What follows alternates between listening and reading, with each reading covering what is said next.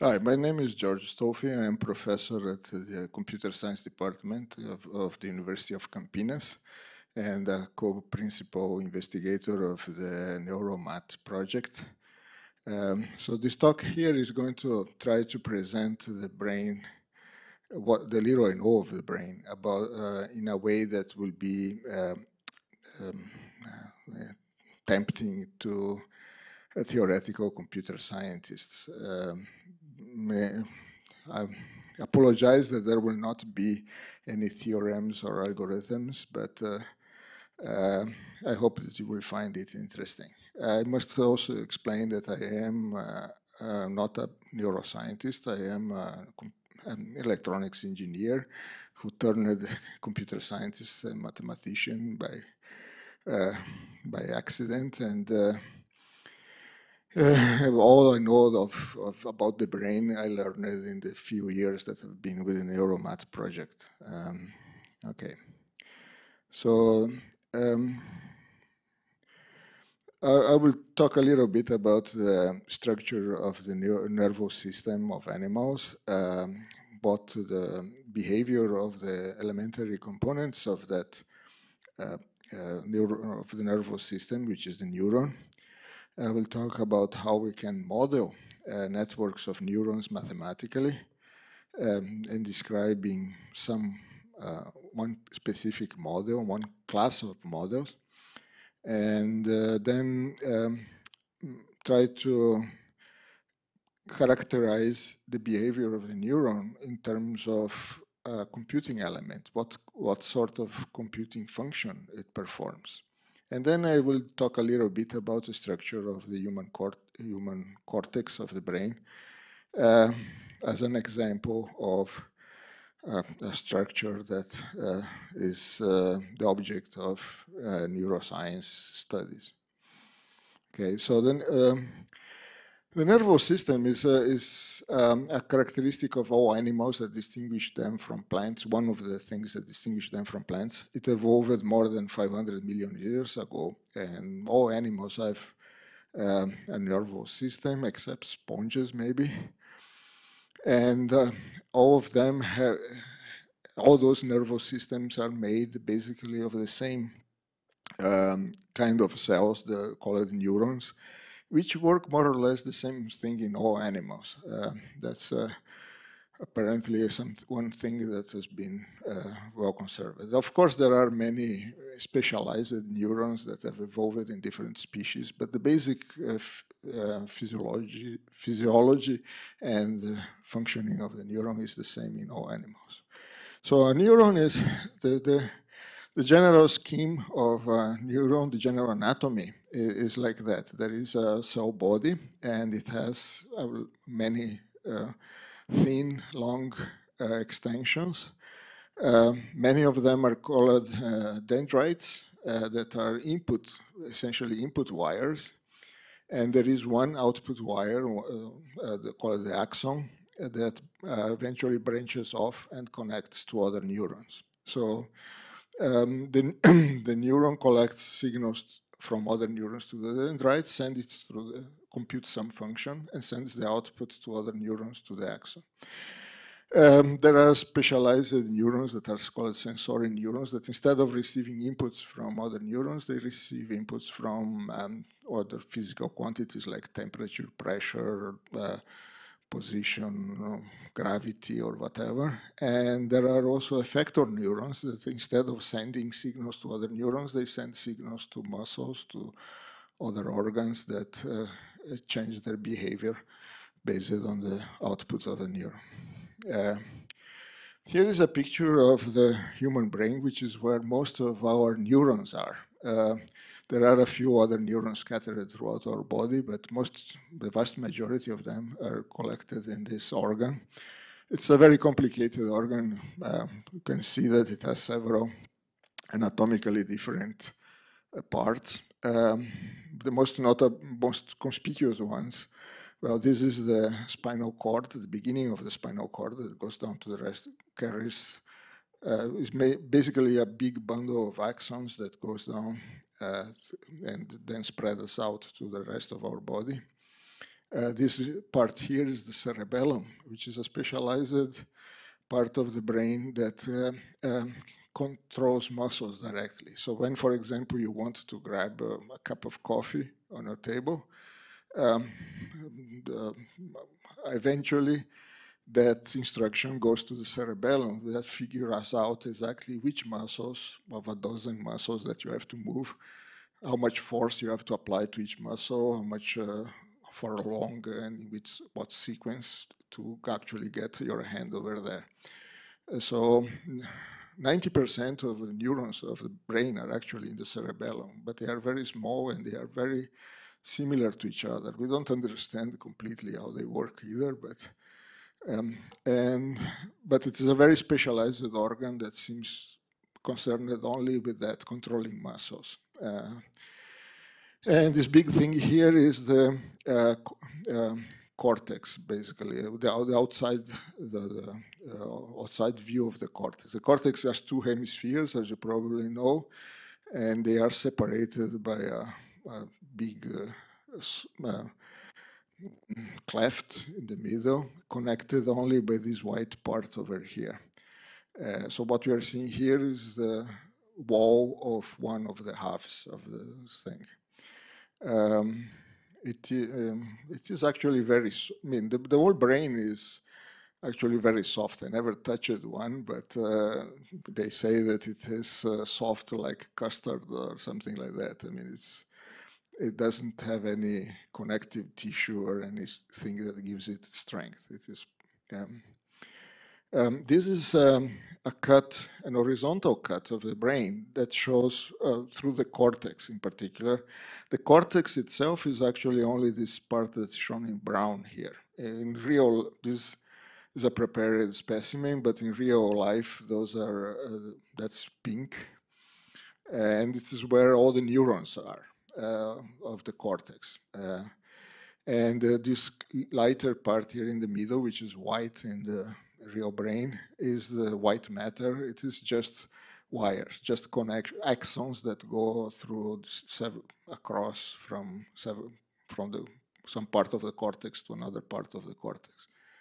Um, um, so here are some numbers just for the cortex that uh, the cort I mean the cortex is particularly interesting not only because well it is the biggest part but because it is also where most of the higher functions of the brain seems to be like interpreting images from the visual interpreting sounds uh, reasoning and um, um, abstract reasoning like algebra or whatever mathematics is all dealt in the cortex. And also when you want, when you decide that you need more coffee, uh, you have to decide to grab, uh, that you must grab the, the cup that is over there. So that reasoning that you must move your arm over there is made on the cortex. Then that command goes to the cerebellum that actually controls the muscles. So uh, the cortex is that that little layer here, the, the, the, this outer skin of the of the that part of the brain. If you were to spread it out, it will be about one square meter in area. Uh, so you can think of it of a big balloon that is about, I mean, this this this size. Uh, it is only three millimeters, actually a bit less, two and a half millimeters thick. Uh, that, and um, the, it contains 15 billion neurons. I mean, so maybe 150 billion neurons are in the cerebellum. Um, uh, and um, each neuron um, has about, receives inputs from about 10,000 uh, other neurons and sends output to 10,000 other neurons in, on the average.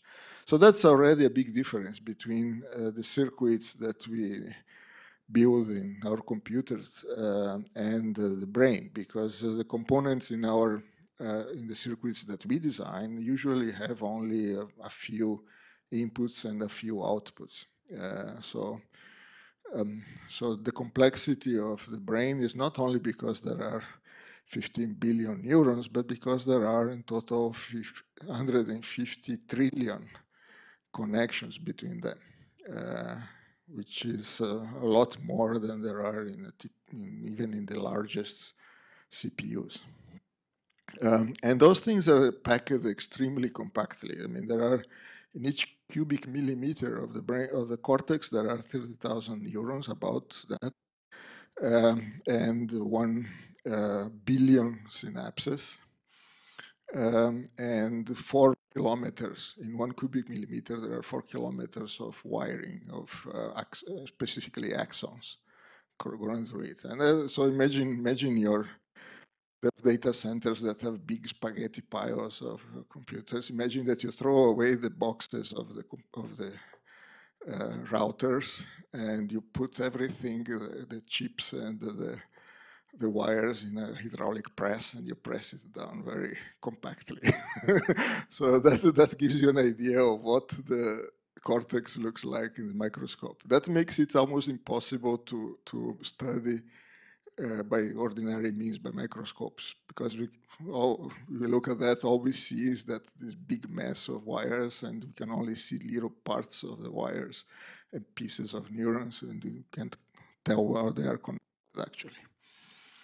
Um, so if you look instead per area, for each square millimeter of the cortex, looking across the, that layer, there are about 1,000 neurons um, and so uh, the axons are very thin. It is uh, only a third of a millionth of a, of a, uh, of a meter uh, across. Um, and each, axon is actually, on the average, is about five, five centimeters long. I mean, many of them are very short, but some of them are very long. There is a neuron at the back uh, that's not in the brain, but in the bottom of the spine that has an axon that goes down to the tip of your toe. That's uh, the sensory organ that you use to detect furniture in the dark, right? um, so how, how does that, what, how, how does a, a, neuron work? Basically, the important thing that actually, um, well, it's a cell, of course, it has lots of metabolism that just to stay alive. But the important thing about it is that uh, the mem um, it is a, um, uh, the, each neuron is essentially a, a, bag of liquid with a very thin um, membrane. It's only two molecules across. Uh, the, the, the, liquid is ba basically a water solution of several things, and uh, the membrane is made of uh, fat, uh, a, kind, special kind of fat. Um, so the membrane is actually half liquid. It's not very solid either, but uh, it holds the thing together with that shape. And um, uh, so and that, that, membrane, since it is a fat, it is an insulator. And um, there are different amounts of electric charge inside and outside the membrane. So the membrane works like a capacitor uh, in electrical engineering. Uh, and across the membrane, there are certain molecules that uh, made of protein, the protein molecules that uh, uh, can either let um, uh, ions, sodium, chlorine, potassium, calcium, go through, or can acti actively pump them. I mean, even uh, um, I mean, you can take a, a positive charged uh, ion from a place that is negatively that has negative uh, potential and push it up into the side that has positive potential. Okay, so in general, the inside, the interior of the of the cell, which is would be this side here, has a negative charge, uh, and uh, uh relative to the outside. Okay, so that uh, if you measure with a voltmeter, if you stick two electrodes on each side of the membrane, you will measure something between uh, 80 or to 40 millivolts uh, with the negative side inside. Okay. Um, and so, but the, the, that, that uh, potential difference is not constant. It changes as the neuron processes information. Basically, um, every time uh, so um, uh, basically, every time the neuron receives a, um, a, signal from another neuron, its potential increases a little bit. And so the, this would be the, the, the, graph of a neuron that has only a few inputs.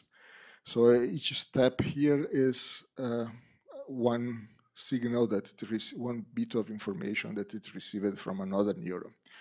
And if the potential reaches a certain point, like here, this you went uh, a certain um, triggering potential, uh, that could be, for example, 40 millivolts negative, then something happens. Some, some of those uh, ion pumps that are in the membrane, they are usually turned off. They sense the difference of uh, as reached on minus 40 millivolts, and then they start working and they pump charge into the, the neuron. That raises the potential rapidly to something positive, including, inclusive, uh, up to a certain peak potential. And then the, the, those pumps shut off, and then reverse pump starts working, and they pull the potential back down again. They pump charge out of the uh, of the neuron. And so in the end, I mean, the potential was uh, something like 40 millivolts negative at the start of that spike, and when it ends, it may be, say, 60 millivolts negative. Uh, okay, and then the thing begins again. The, um, the potential gets increased every time uh, a signal comes in, and if it reaches the triggering potential, it spike, another spike occurs. And while there are no inputs, the the potential slowly decays because uh, there there are some ion channels that let uh, that uh, that keep some ion pumps that keep pumping charge no matter what, and so they try to keep the to push the charge towards a negative, let's say minus 80 millivolts. Okay, so in the absence of signals, the thing decays to minus 80. Every time there is an input signal, it jumps up a little bit, and if it reaches uh, minus 40, then there is this peak, and then it comes back to minus 60, and then the thing repeats again. Okay, so each of those spikes lasts about one millisecond, and they cannot repeat. I mean, one, one, one can happen only after the previous one has finished. So the maximum rate at which those spikes can happen is uh, one kilohertz, about about that. Okay. So when when one of those spikes happen, um, the voltage doesn't change uh, at the same time throughout the whole neuron. Instead, the body does that spike, and then that spike propagates down the axon at a certain speed. Uh, and it propagates in the like that. I mean, there is a along the axon. The axon is initially at that triggering potential, let's say minus 40 millivolts. Uh, then the, the, there is a small region that's actually spiking, that's pumping uh, charge in, so it raises the potential to the uh, plus 20, something like that and immediately after that, that those pumps stop and then right behind them there is a, a region that uh, that's pump where the other ion pumps are pumping charge out. And those uh, only stop when the potential here is negative minus 60 so so you get this little uh, disturbance that uh, walks down the axon turning the potential from the trigger potential minus 40 here to the reset potential minus 60 here. Uh, that's, that's basically a signal traveling down the axon. And that signal about travels with the speed, it depends um, on the kind of axon, on how well insulated it is and whatever. So it changes between half a meter per second to 100 meters per second. Uh, basically, the fastest seems to be the, the uh, things that sense touch. If you touch something, the sensors here send a signal immediately to the brain at 100 meters per second. So, and uh, sensors for pain actually are very slow. I mean, so if you cut your finger, it may take uh, two seconds for you to actually feel the pain or something like that. So. Um, the, the magnitude of the spike is not, you can I mean, figure out from this picture that uh, the, the, magnitude of the spike is not important because as, as the thing travels down the, the axon, if the axon is a bit thicker or thinner or whatever, this the amount of voltage that it spikes will change. But uh, the, the thing travels down as a unit. Um, so the important thing here is only that there is this wave going through or not, not uh, the actual value of it or, or how wide it is or whatever. And whenever the axon branches, the, this disturbance branches too, and each branch gets a wave that is just as strong as the, the first one. So all the 10,000 outputs, uh, neurons that receive output from the neuron, they get exactly the same strength, more or less, as the, uh, okay. So when, when uh, the disturbance reaches the end of an axon, it has to go through the dendrite of the next neuron. And the connection between the two is called a synapse. And uh, the signal is transmitted across that synapse by chemical means, not by electrical means. Uh, basically, when the, uh, the, impo the impulse, each synapse is unidirectional. It goes from the axon to the dendrite and sends signals that way and doesn't usually send signals the other way, although there are, maybe there might be cases where that happens too, but uh, mostly it is unidirectional. The signals only travel that direction. Uh, what happens is when, when the, that region, uh, that the disturbance along the neuron reaches the synapse, um, the synapse contains lots of little vesicles with a substance called a neurotransmitter. And uh, when the signal reaches the synapse, those vesicles, they fuse with the membrane and dump the neurotransmitter in the space between the two, uh, the two neurons. And then on the other neuron, there are uh, protein molecules that are activated by that neurotransmitter and start, they activate pumps that start pumping charge into the other neuron. So there is, the electrical signal arrives here, it uh, gets turned into a chemical signal, and the chemical signal gets turned into an electrical signal. And these pumps, they, well, they start pumping for a while, then they stop, and the neurotransmitter is absorbed back into the, the vesicle or destroyed in some other way. Uh, so the effect of one pulse arriving at synapse is that the other neuron gets uh, an increase, a certain amount of potential increase in its potential.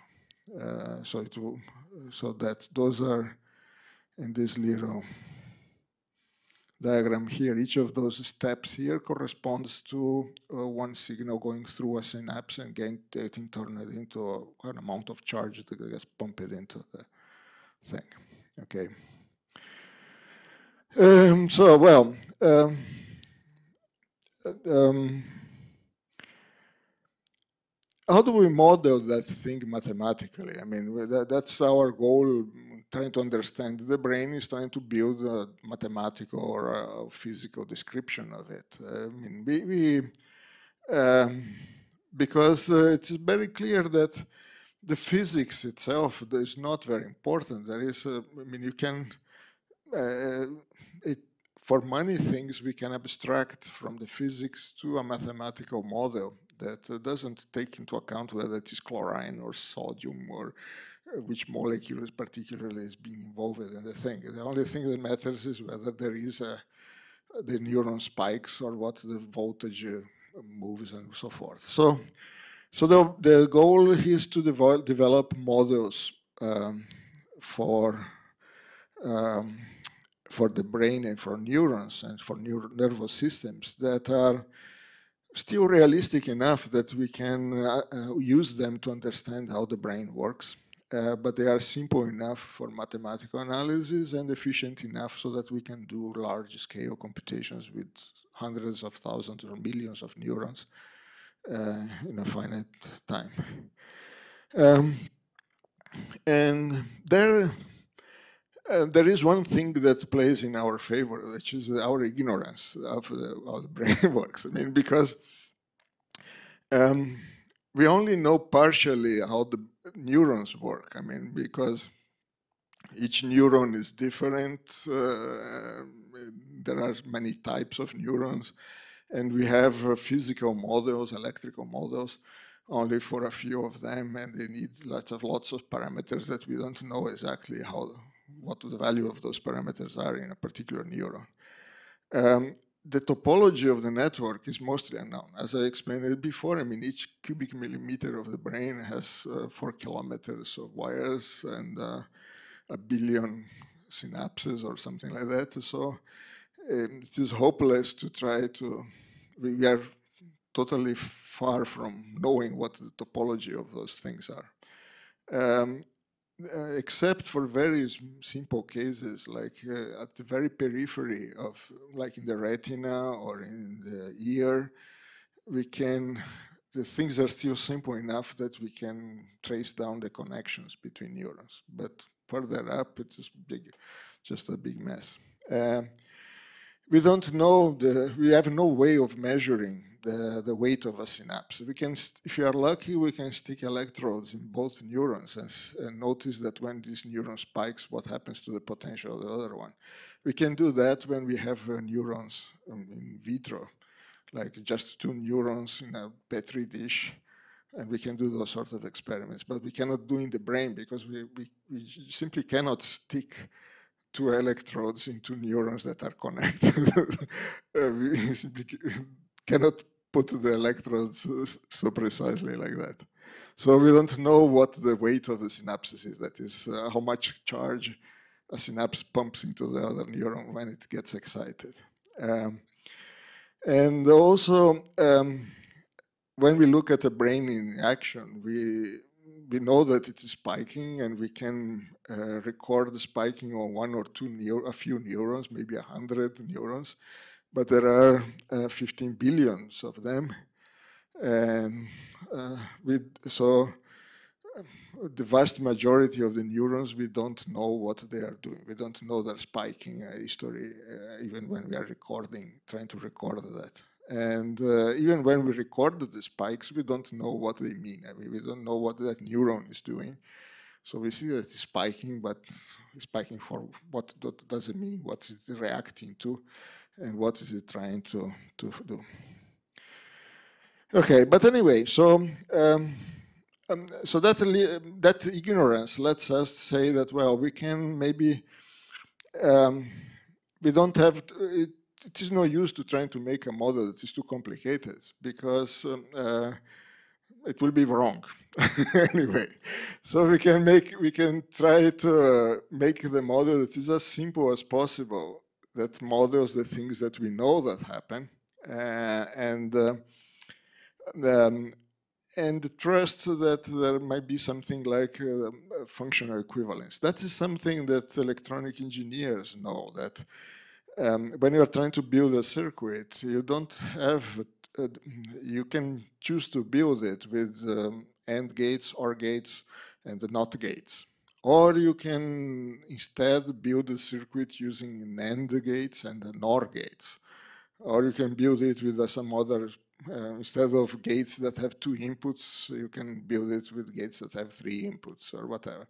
So um, it doesn't matter much because uh, there is the concept of a set of gates being um, equivalent to another set in terms of power.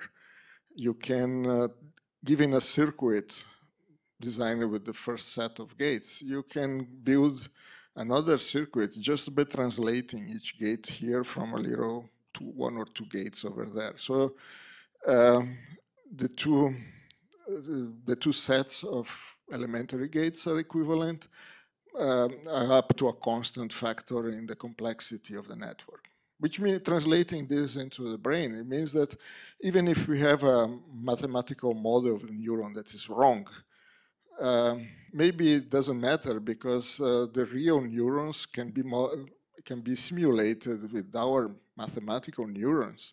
Maybe uh, what one neuron does, we will need two neurons in our model, but uh, still we can reproduce the same uh, um, function with the same structures, uh, except for that factor of maybe a, bit, a constant factor of complexity.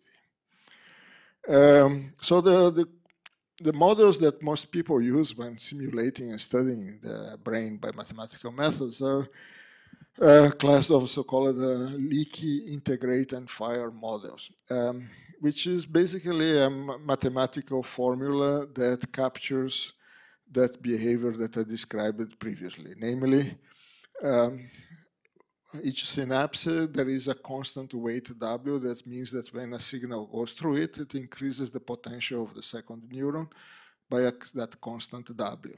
Uh, when there is no input, the potential of the neuron decays by a simple exponential towards the uh, baseline potential specified. And when the potential reaches the threshold value, there is a spike that occurs.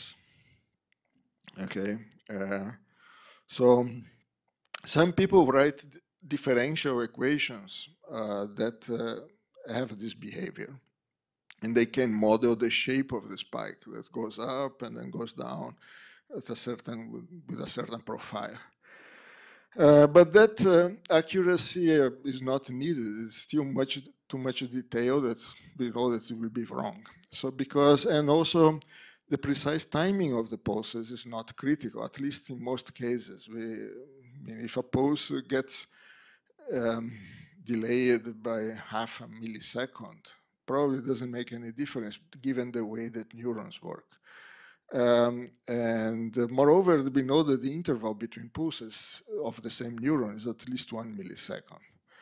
And the amplitude of the spike is not important, uh, at least uh, most, um, vast majority of the cases. So we can discretize that model, make a discrete model uh, instead of a continuous model with differential equations. We can write different, I mean, recurrence equations for the behavior by assuming that time is discrete and all the neurons evolve in synchronous. Uh, I mean, at each time step, all the neurons either decide to fire or they don't fire, and then the potential of each neuron changes according to a mathematical formula.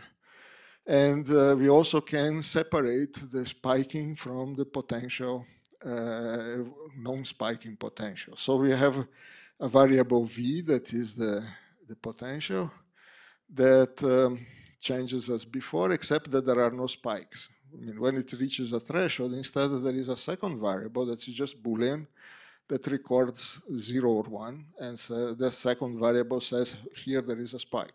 Here there is no spike. Here there is a spike. Here there is no spike. And then here the potential, when it reaches the threshold, it drops immediately to the reset potential instead of going through a spike. Okay? Um, so we, we model um, by a, um, still a continuous potential that changes now at uh, times at discrete time steps and a sequence of Boolean values, a discrete sequence of Boolean values. Uh, moreover, I mean the firing of the um, of the neurons is not uh, precise. I mean, if you take one neuron in isolation, the mechanism that starts a spike is very precise. It's a very good, precise detector exactly when the difference in potential is 40 millivolts, and this fires then. But when you have uh, the neurons surrounded by many other neurons that are also spiking, uh, that, that uh, mechanism is sensitive to the difference between the potential inside and outside.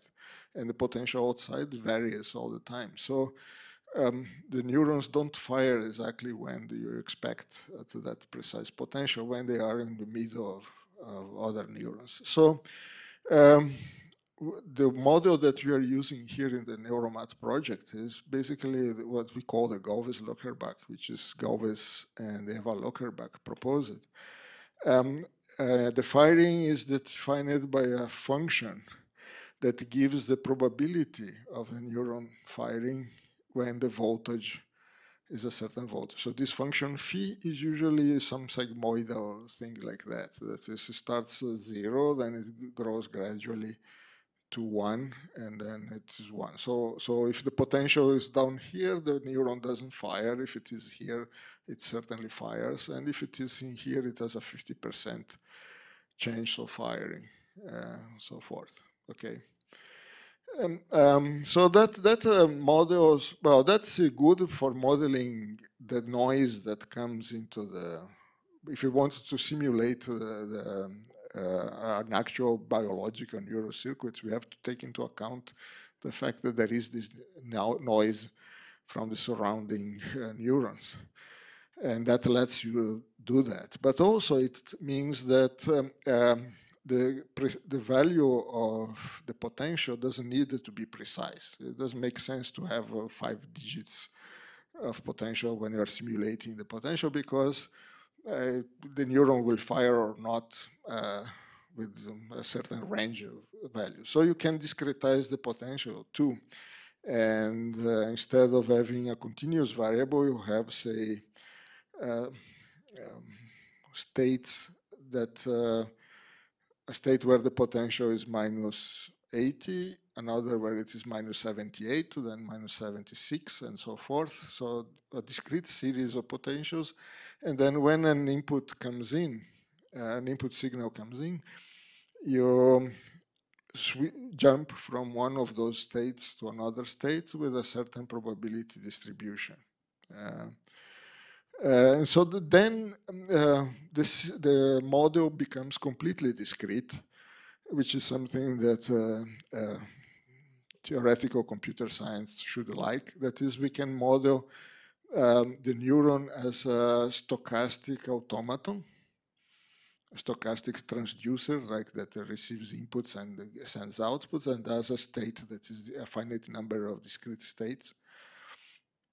And uh, the entire um, nervous system has um, um, an array uh, as a collection of such automata talking to each other, sending signals to each other. Um, now, well, in this model, we are ignoring many things.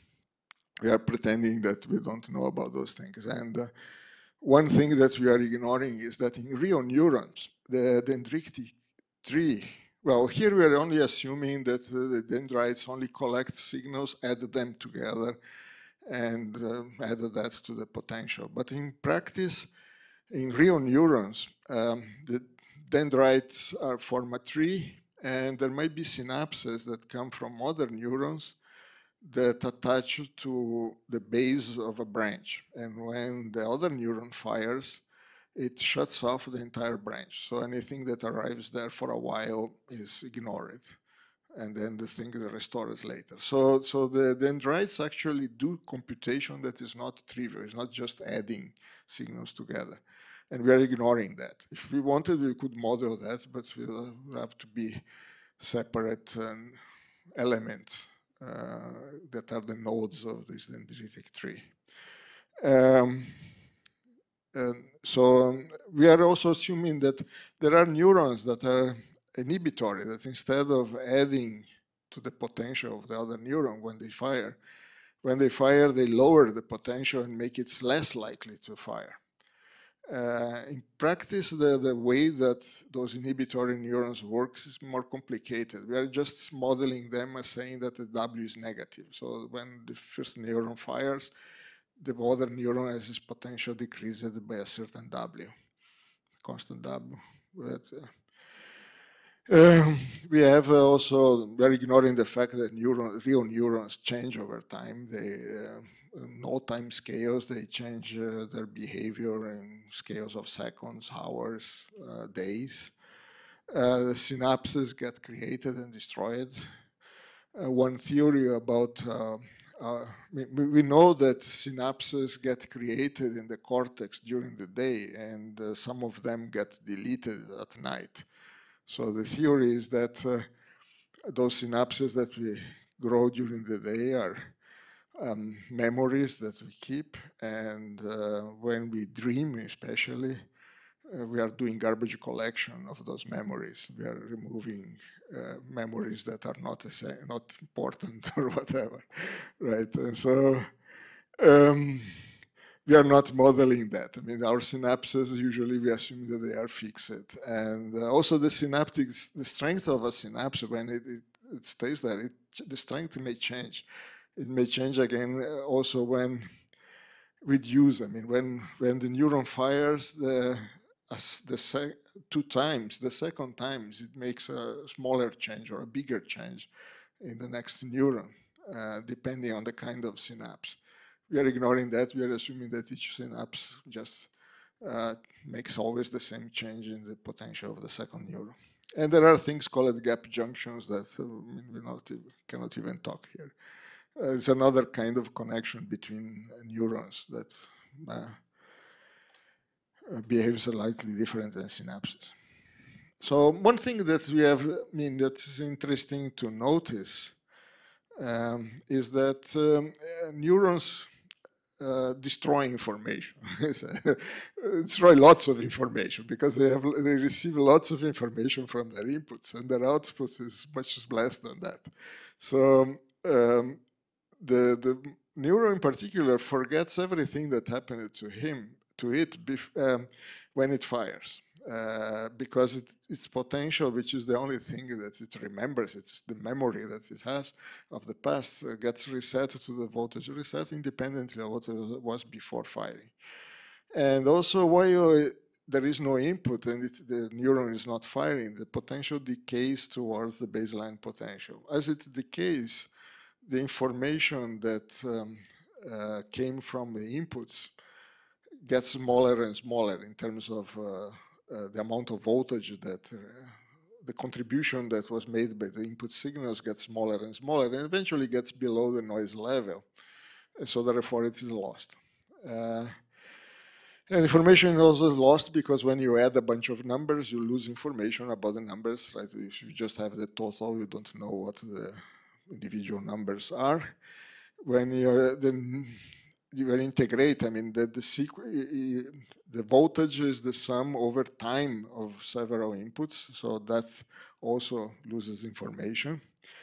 And when you threshold, I mean, uh, all the information of the potential that varied along the time, that information is lost. The only thing that matters is whether you, whether you reach or not the threshold potential. So you just get one bit out of the, all the history that happened to the neuron and uh, since the previous firing. All the inputs that come in, they are forgotten. The only thing that happens is summarized into one bit, which is fired. Um, and also the fact that the, the, firing is stochastic also loses information there because you don't know when it fired, whether it fired because the potential was minus 40 or whether it was minus 38 or minus 42.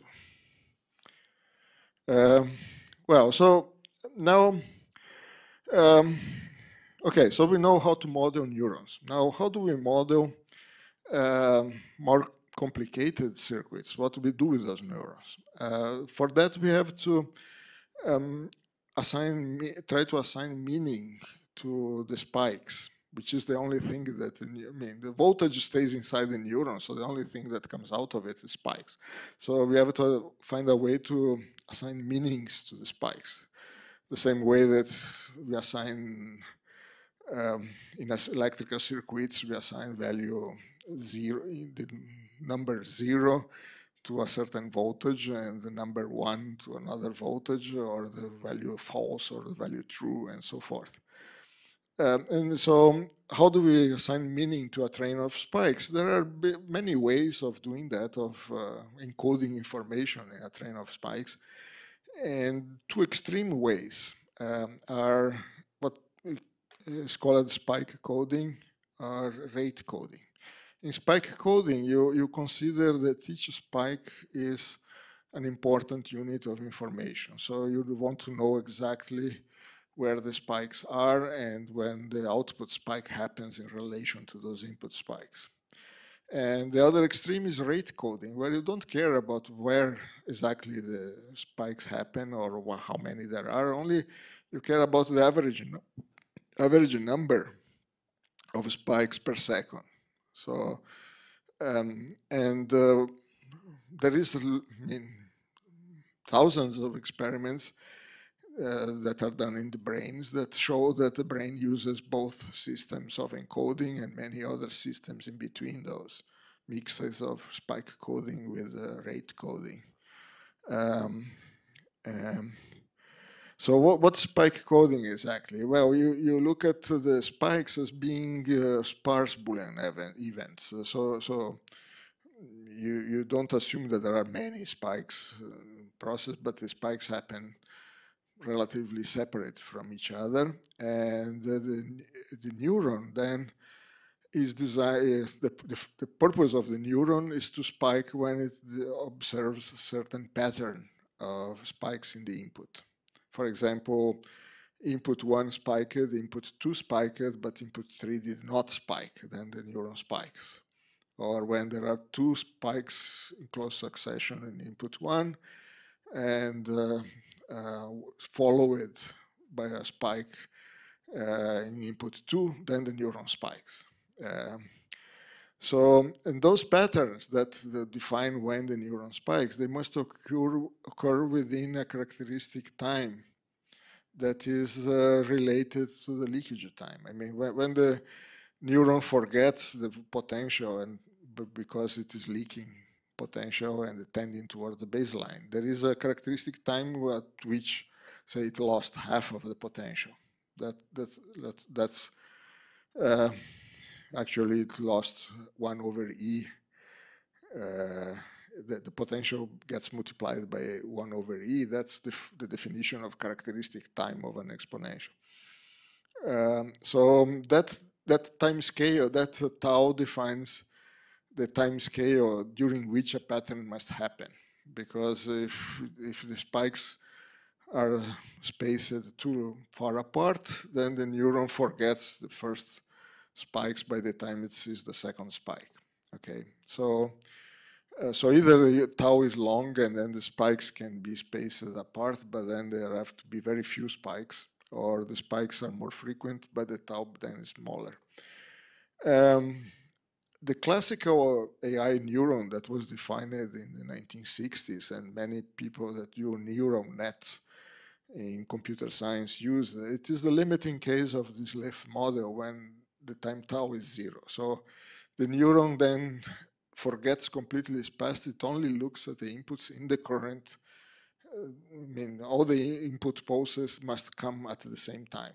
Uh, and then it looks at the pattern of zeros and ones in the input and computes a Boolean function that on the output. And that neuron can perform and or majority or whatever. But, uh, and so if, it, if you use a, a tau bigger than zero, that is a neuron that can integrate over time the inputs, then we can do uh, and or and majority with some leeway. So the spike uh, X can come in one wire, then a few milliseconds later comes in the spike Y, and then you do the, the output is the OR, or X and Y. So that sort of things can be done by um, uh, spike mode. Uh, the neuron can count spikes. I mean, like say, if there are three spikes on one wire, then the output uh, the output fires. Uh, if there are three or more in a close succession, like that.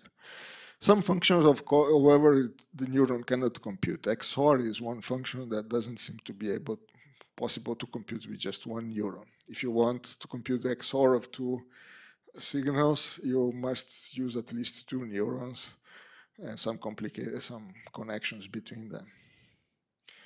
Okay, the other kind then of um, um, um, coding that you can consider in modeling neuron, neural nets is rate coding, where you look at a certain window and the signal and you compute the average number of uh, pulses that are in there. So you count the number of spikes in that window divided by the length of the window. That's the uh, firing rate. Uh, that can vary between 0 and 1. Um, and then there is um, um, the, the, the, the, actual spikes, you can consider them as noise on top of that. You, consider that uh, average, the signal. So if the if the average is um, uh, 0.2, uh, that is uh, every, on the average about one every five time steps there is a spike, then the input is 0.2 of the neuron. That's the signal that, you are, that the neuron is getting, 0.2. Uh, if it is 0.8, then the, the, neuron is getting the input 0.8. That's what the neuron should compute. Um, Um, and uh, then there is this noise that is, uh, I mean, the actual spikes that um, deviate from that uh, local average, and you treat that as noise. I mean, you would like that uh, your computation to be independent of that as much as possible. So in this view, uh, well, the, the, the length of time that you are averaging is the, the, the that characteristic time tau of the leakage, and uh, then you must have at least maybe 10 or more milliseconds. Uh, the, that is, the neuron must remember at least 10 or more uh, milliseconds of the past in order to be able to compute that average rate with a reasonable accuracy. Uh, so the precise time of the spikes in that window is not important. Um, and uh, the neuron then just takes, you can think of it as an element that takes input rates and output spikes with another output rate. So it's a function from input rates to output rates. Okay.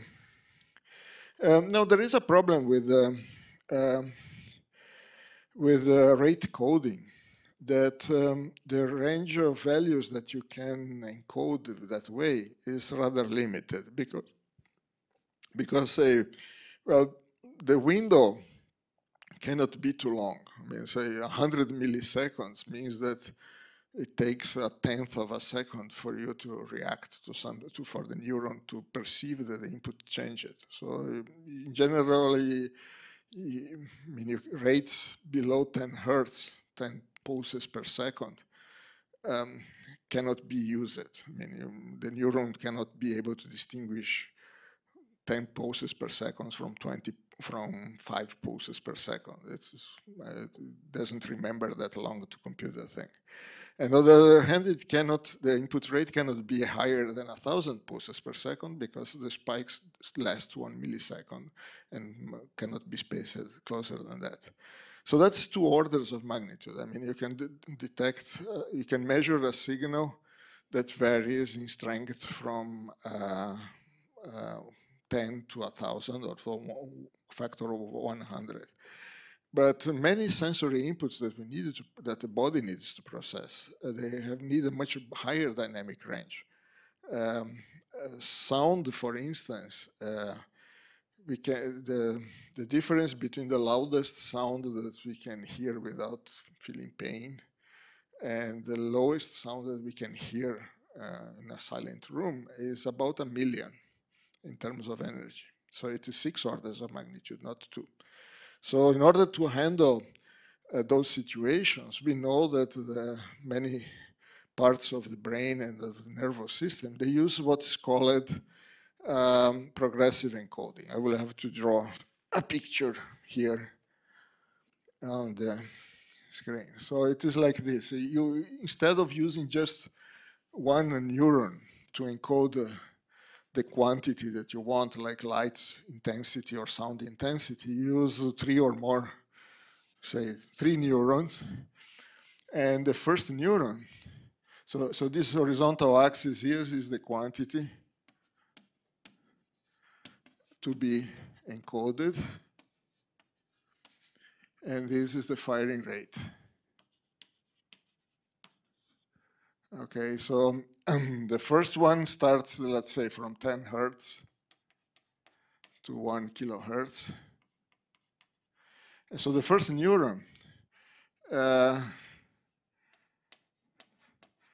it will have a response like that. So if the quantity that has to be measured varies from 1 to 100, um, the firing rate varies to uh, 10 hertz to 1 kilohertz. And then it saturates. Can, that neuron just uh, higher, any higher quantity gives the same 1 kilohertz rate. But then the second neuron only starts to react when the intensity is 100. Uh, and then it starts firing at 10 hertz. And it's saturated to at uh, 1 kilohertz.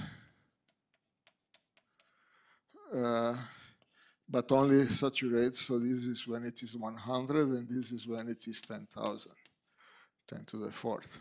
Okay, and then the third neuron only starts at this intensity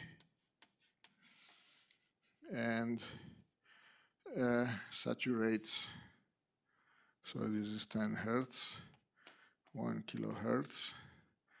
It only saturates at 1 million uh, when the quantity is 1 million. So by using those three neurons in parallel, uh, the nervous system can encode quantities that span six orders of magnitude. Uh, and of course, this neuro, the, whatever circuit, whatever part of the brain then has to handle that signal will have to handle three wires instead of one wire. But so it would need more, more neurons, more synapses, or whatever.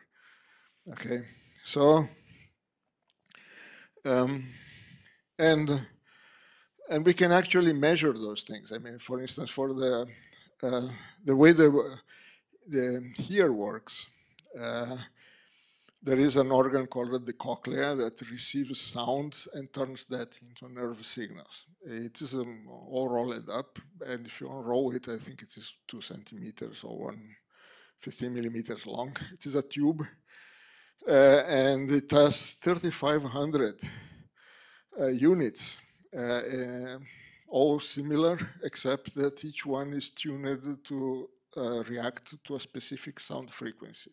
Very narrow, I mean, like say uh, 1000 hertz to 1003 hertz or something like that. Uh, and uh, so, so that that organ makes a Fourier transform of the sound and turns before turning it into 3,500 uh, uh, signals. But those signals also they are progressively encoded. So each of those frequencies has sends actually three axons to the brain encoded that way uh, with the, the, intensity of that particular frequency inside. Um, okay, so basically. Uh, that's uh, that's another way of looking at neurons. There are other ways of looking at signals between spike individual spikes and just the rate. Uh, for instance, the auditory cortex um, also uh, one of the functions that uh, that uh, sound serves besides uh, speech and whatever you have to detect the direction where when the sound comes. And that is done very low in the brain because if you hear a noise, you turn towards the noise by reflex action. You don't go through the cortex brain to decide that. As soon as you hear a noise coming from that way, you, instinctively turn over there. So, unless, of course, the thing is being suppressed because you are in a noisy environment or whatever, right? But uh, but uh, so um, and uh, how does the brain does that? Well, the low frequencies, um, uh, the unit that responds to say 300 hertz, it spikes at 300 uh, spikes at 300 hertz um, uh, in, in, synchrony with the sound. Every time the sound re reaches a peak, it sends out a little one or more spikes. Then its next peak it sends a few more spikes and so forth. And so uh, there is a part on the way up to the brain, before reaching the brain, there is a place where those two signals from the two ears come together. And um, uh, that part compares the timing of the pulses. So because um, this, if the sound is coming from that direction, it reaches this ear a little bit earlier than this uh, than here. And so by comparing the difference between the times of the two spikes, uh, that part of the, of the brain, before reaching actually the cortex, can de determine that the sound is coming from that direction. But for higher frequencies, like frequencies higher than one kilohertz, the the, neuro, the neurons in the cochlea cannot respond that fast. Uh, so they instead they just send out a stream of random spikes uh, that is propor the rate is proportional to the intensity, but they are not synchronized with the sound wave. Uh, and so those signals also are processed to determine direction, but then the determination they don't the um, the units that are responsible for those frequencies, they don't use timing information because the timing of the spikes doesn't mean anything, but they use the volume information because if the sound, if a high frequency sound is coming that way, um, it, the volume is slightly higher on this ear than on this ear. And so by comparing the volumes of the two, the, of the, the rates of spiking from two, the two ears, the brain can tell that the sound is coming over there. Uh, and that's a very complicated process because the, say if you if you have a hair coming out front of one ear, then the brain must uh, adjust for that. I mean, it must learn that oops, uh, I mean, there is something happening that makes this ear slightly less sensitive than this one. So when you compare the volume, it has to compensate for that effect and still determine that the volume based on the difference of volumes corrected by that effect, uh, sound must come from that place. Okay, so, so there are, uh, just in the auditory system, even though the neurons seem to be very similar, there are clearly places for, for certain frequencies it is using spike coding, a mix of spike coding and uh, rate coding, and for other frequencies of sound, it is using just rate coding. Okay, just so to finish this talk, I would uh, try to talk a little bit about the little that we know about the cortex. Um, the, the, the, higher scale organization of the cortex. Um, and uh, uh, we don't know very much, but we know only that uh, it appears to be organized in columns. I mean, uh, you have this lab that is one square meter in area, 2.5 millimeters thick and in the cross direction.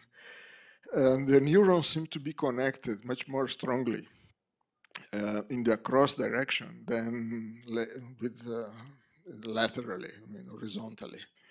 Uh, so, and by sticking electrodes uh, at various depths in the cortex, people have noticed that usually when um, neurons in one column get active, all of them, all, the entire column gets active, and the neighboring column may not be doing anything. Um, so activity in the brain seems to be organized along those columns. So each column gets active or not, not each neuron or each layer or whatever. Uh, so there are about 150 million of those. Um, each one contains about 100 neurons and they are they seem to be all alike. I mean, uh, not only they are all alike, but also all animals, um, all mammals at least, uh, they have about the same organization. The only difference between the human cortex and the mouse cortex seems to be that we have many more uh, columns and therefore neurons in the cortex than he has. But otherwise, he has columns and they are organized the same way as ours. Um, so, um, and uh, the columns communicate to each other mostly through the base here that goes into the white matter by sending wires to other columns. And uh, say a column here, you can detect that when it fires, then five or six columns on the other side of the brain or the, other, or the same side, they fire too. They're always very specific. So there are connections that are seem to be very specific, but uh, we cannot figure out any pattern to that. Right, then we can see that, uh, I mean, it's long being known that different parts of the cortex seem to be doing different things. For instance, the part in the back is mostly concerned with vision. It's where the optic nerves, uh, they cross the brain and end up here. And here is, you can detect when, for instance, um, stereo vision is happening because um, uh, neuro, the signals from one little spot in the retina of this eye and the corresponding spot in the retina of this eye, they come together in one column, and that column is sensitive to the uh, to a certain disparity or whatever, right? So um, each column in the cortex here seems to be sensitive, for instance, to edges in what you are seeing that are oriented in a specific direction. And if you look at the next neighboring column, the, they are um, there is a, they are sensitive to edges in the same spot of the retina, but tilted maybe 10 degrees with respect to the first one. So there is a complex uh, encoding uh, of the image that you see that goes off in the way in the way between the eyes and uh, the cortex, uh, visual cortex in the back. Uh, the top of the cortex seems to be concerned with high-level motor decisions, like when you want to more coffee, you decide that you have to grab uh, with this hand the cup of coffee. So that involves the the, uh, the, decision to move seems to be made uh, that this motion is decided over here. Uh, the front part of the cortex seems to be more concerned with abstract reasoning, logic, motivation, uh, whatever. There is a part over here on the side that is connected with language and, uh, and hearing.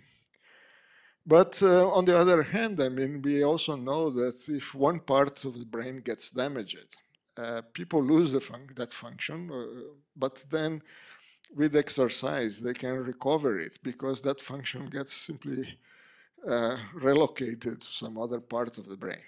So all those columns, they seem to be um, general purpose processors, not specific to one specific task, but capable of doing any, uh, any task if uh, connected properly or if uh, used properly or programmed properly, who knows, right? Uh, so that's, it, so it is tempting to look at the cortex as a parallel processor with 150 million processing elements except that uh, since they have only 100 neurons each, they must be much less general purpose than our processors. We cannot expect them to run, uh, say, uh, a Python program or whatever inside of them. Uh, so we don't know exactly what um, uh, we don't know exactly what each column does. What we know, we can see, is that if you look now at a slice of a column, we can see six layers of neurons, with each one with their different types of neurons, some neurons that have more connections, less connections, and so forth, and lots of fibers that go up and down across the column, I mean, uh, vertically across this layer, and some uh, neurons that go horizontally within each layer, and lots of uh, um, connections that go uh, out into the white matter and connect to other columns elsewhere in the cortex uh, or other parts of the brain. And we don't know exactly how those neurons are connected, but we can only count that, say, neurons in this layer, they 50% of the connections go to that layer, 30% go to this layer, and so forth. So we have a, a table that says uh, what percentage of, of connections uh, are within each pair of layers. But we don't know exactly how the connections are. We don't know the strength of the synapses or whatever. We know that some neurons are inhibitory. That is, they tend, to, when they fire, they suppress activity in other neurons. Uh, and that's basically it. So it's still a mystery what the cortex actually, what each of those little processors in the cortex actually does. Okay. Uh, well, so that's it. I hope that, well, uh, I don't know if I managed to um, attract any uh, computer theory, computational theorists to this area, and I hope that I haven't uh, discourage any people that are in NeuroMat from continuing this path. Okay, thank you very much.